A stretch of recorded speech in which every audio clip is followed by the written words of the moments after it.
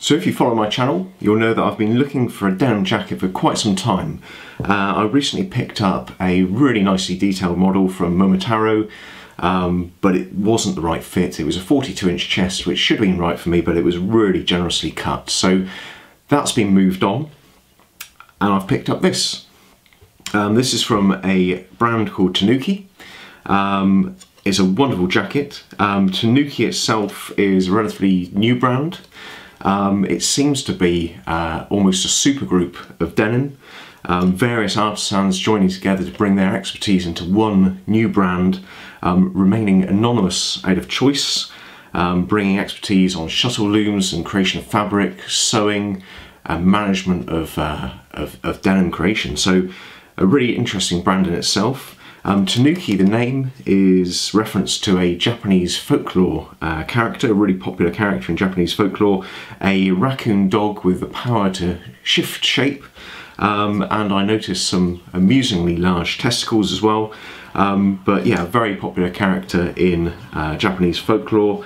And the branding here you see on the uh, goatskin patch in the in the uh, in the neck there, and on the shoulder.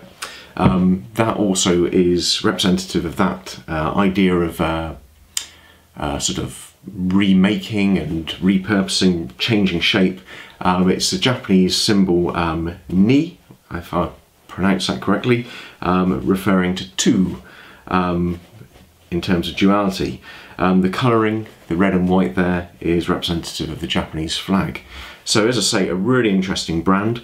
Something that caught my eye before, um, but what I hadn't realised about uh, Tanuki and what you can't really pick up in the in the pictures is the quality of their fabric. So I knew it was a well detailed, well cut product, but um, having got this in hand, the fabric is wonderfully rough, um, loose weave, slubby, sort of really nice, sort of organic feeling, hairy, uh, coarse denim. Really something that I really like. Um, very reminiscent, I think, of some of the denims coming out of Oni. Um, albeit I'm much for the sort of the true indigo which uh, Tanuki are using, this sort of lighter indigo on uh, Oni, um, not, not whole, wholly to my taste. I really like the traditional deep dark indigo. So as I say, this is their Type 3 jacket. It is the model Z, ZB JKT3, uh, also known as the Zetto B. So it's a very traditional uh, styling. It's got added hand warmers, which weren't always featured in the uh, the original Type 3s, I don't think. And it's cut for a nice, uh, what I'd call a Western cut. So it's got a slightly longer body, slightly longer arms, which creates the perfect jacket for the uh, the Western European market, I think, and it's a perfect fit for me. So after the disappointment of the Momotaro, um, this jacket really is exactly the fit that I was looking for.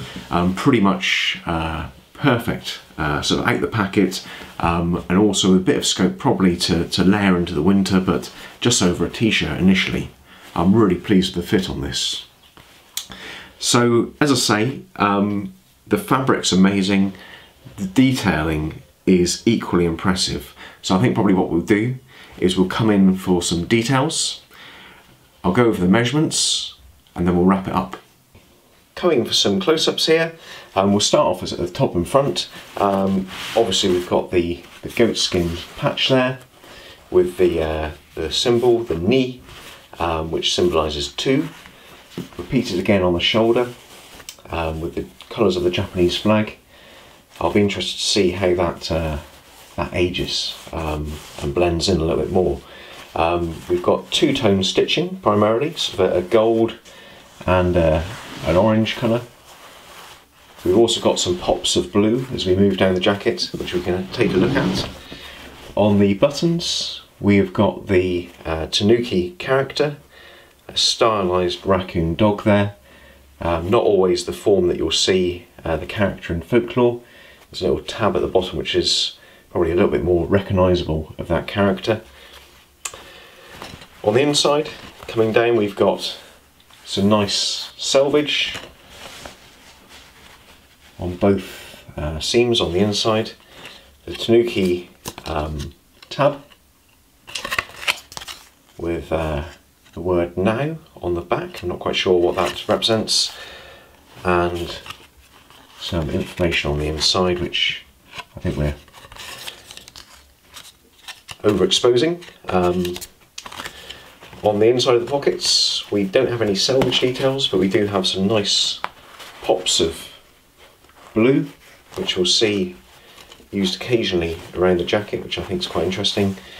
Really nice pocket shapes on these, and obviously the sort of the bellows effect on the on the chest there. Moving down, we have hand warmer pockets, really good size there, and on the inside you see a nice uh, sort of herringbone style lining, nice and robust, and also the way it's stitched in allows you to form a nice and generously sized inside pocket, which I think is quite a nice little detail. On the rear of the the buttons, you can see on the rear of the rivet you've got the, the Tanuki 2 symbol again. And on the inside whilst we're here you can see the, the wonderful irregularity and roughness of fabric. Really, really nice. Something you can't really pick up when you see these jackets online. Just don't know quite what the fabric's going to be like. If I'd known it was going to be this interesting, I'd have picked up from something from Tanuki a long time ago. So moving around to the side, you see another return of that really nice blue stitching. And obviously the the buttons at the bottom there to cinch your waist a little bit more if you if you want to tighten up the opening. I know a lot of people tend to wear it with the bottom button undone. On the cuffs we've got a nice blue pop there. No selvage details on the uh, on the cuffs. Um, quite a lot of cuffs I see uh, have a rivet reinforcing at that point. Um, these don't, but of course that means you've got a bit of flexibility should you want this tailored. So you can restitch that if you want a shorter arm, for example, which can be quite useful. Blue pop up the seam on the sleeve there. And at the bottom, we've got the uh, the Tanuki raccoon dog face there, probably a slightly more recognisable form than the stylised image on the buttons. Got the label, made in Japan, and on the rear it says, Autumn arrives as a yokai rise. If you know what that means, please let me know. Flipping it over onto the reverse,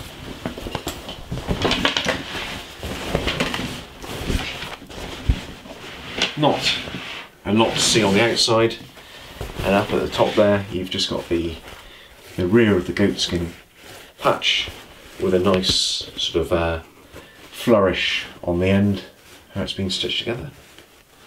Before we wrap it up we'll give you a few measurements. Um, the chest as I say is a true 42 so it's 21 across.